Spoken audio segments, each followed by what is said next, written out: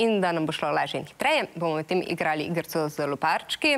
Ko slišimo zvok, ki označuje konec govora v parlamentu, dvignemo rdeče lopačke, kdo bo prvi tekmujemo in ko slišimo zvok, ki označuje Wernerja v stavbi državnega zbora, rumene lopačke, čeprav bi si želeli, da bi slišali prejšen zvok.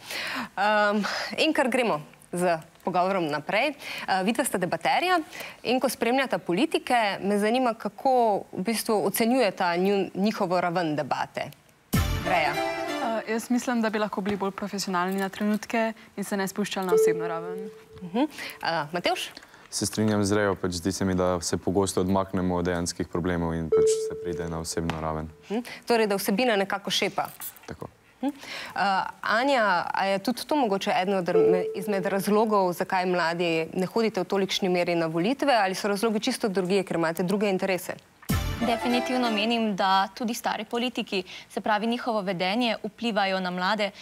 Najverjetneje zaradi tega, ker se mnogokrat ne obnašajo pravilno, kar vpliva na mlade, se pravi, se volitev nimajo take želje odrežiti. Mhm. Kaj pa bi radi poslušali recimo v predvolilnih debatah?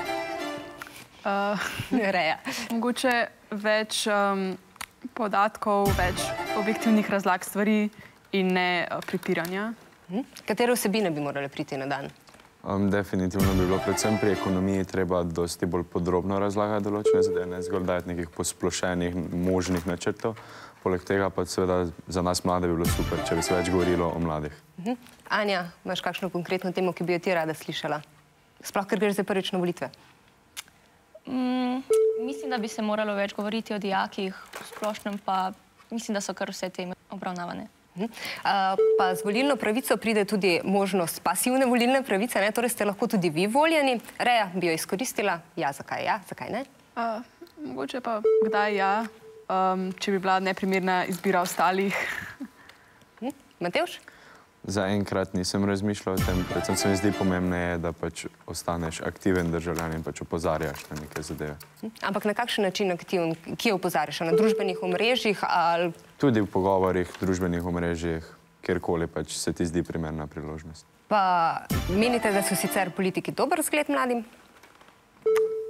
Želim si, da bi lahko rekla ja. Matevš? um, Pa bi se strinjal z Rejo, želimo si, da bi bili, pa žal v tem trenutku večinoma niso. Hm? Anja, kako pa boste spreminjali svet na bolje, razen tem opozarjanjem? So še kakšni drugi vzvodi? Ja, seveda to, da se volitev sploh udeležujemo. Menim pa, da je pomembno tudi to, da se o, pra, o politiki nasploh pogovarjamo z vrstniki, saj si tako izmenjujemo mnenja, stališča in nekako poskušamo gotoviti, kaj je prav, kaj je narobe. A pa se pogovarjate? Reja? Ja. Matevš? Tudi ja, so šolci pogosto. Anja? Da. Jaz vam želim, da čim bolj spremenite svet na bolje. Poglejmo rezultate. Ja, Matevš in Reja sta z 22 točkami dosegla prvo mesto. Uh, ja, Neža, in kot vidiš, si ponovno zgubila uh, s 13 točkami, uh, medtem pa tudi Anja. Drugo mesto, odlično mesto, Anja. Bravo, čestitke uh, proti kandidatoma. Odlično sta bila. Veliko sreče pri spreminjanju sveta na bolje in še bolje za nas vse. In hvala za tale obisko studio.